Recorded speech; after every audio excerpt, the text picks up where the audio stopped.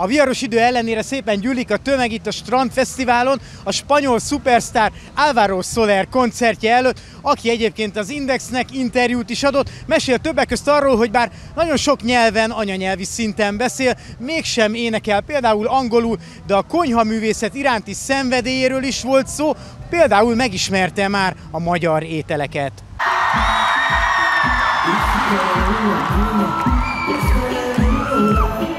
Utoljára, amikor beszélgettünk, a Szófia sikere megállíthatatlan volt. Azóta születtek új dalok, például a Manila. Esélyes 100 milliós megtekintésre az is? Hombre, yo creo que sí, ¿por qué no? Ahora estamos creo que en... Creo que Magia llegará antes, pero... Pero Manila... Igual sí, no se sabe. En un par de años, sí, este año no, pero en un par de años sí. Depende de lo que haga la gente en Hungría ahora.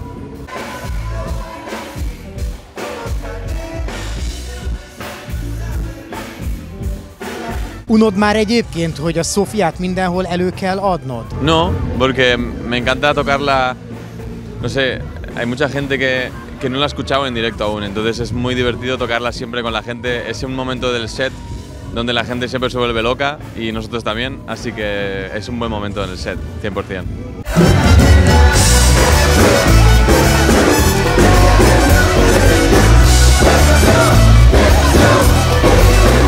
Német származású spanyolként számos nyelven beszélsz, rengeteg országba eljutottak a dalaid. Miért ragaszkodsz ahhoz, hogy csak spanyolul énekelj? Mm, porque, a ver, yo empecé en, en inglés, pero nadie, o sea, no sé, nadie me escuchaba en esa época. Entonces empecé a cantar en castellano y de repente funcionó. Entonces fue como dije, pues me quedo en castellano porque, a ver, es mi lengua materna. Y, y me encanta también la sonoridad que tiene el, el español cuando cantas. Eh, obviamente el inglés me gusta, pero es, el inglés igual es más típico en comparación con el castellano. Eh, y obviamente no soy nativo en inglés, pero soy nativo en castellano, así que... Y alemán, eh, o sea, aprendí alemán de pequeño, ¿no? Y, y hablo alemán, pero no, no me siento cómodo cantando en alemán, creo, aún.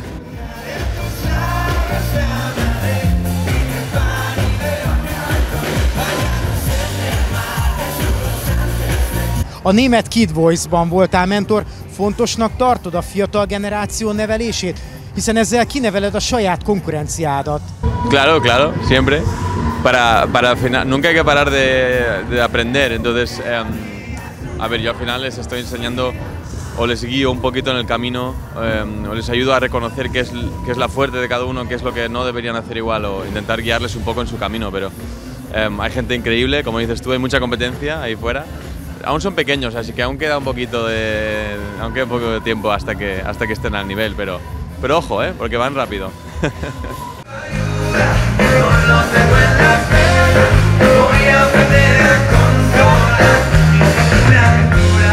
Láttam Youtube-on a főzős videóidat, és mondtad, hogy szereted megkóstolni a helyi specialitásokat. Mi újság a magyar kajákkal? Pues, eh, hombre, el goulash eh, lo he probado. eh, hoy no lo he probado aún porque había una opción de pescado y estoy tomando un poco más de pescado ahora y no tanta carne. Y es verdad que la comida húngara tiene bastante carne. Pero eh, he probado un, pescado de aquí, no sé si era especialidad húngara tampoco, pero eh, se llama pike, no sé qué, un pescado. Un pescado de aquí, típico húngaro seguramente. Muy rico, sí, por ahora me encanta.